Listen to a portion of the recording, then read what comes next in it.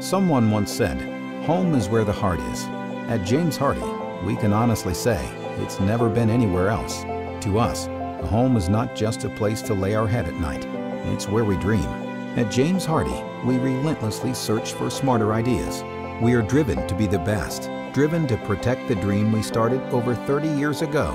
And we are proud to be protecting that dream on over 5.5 million homes. James Hardie, America's number one brand of siding.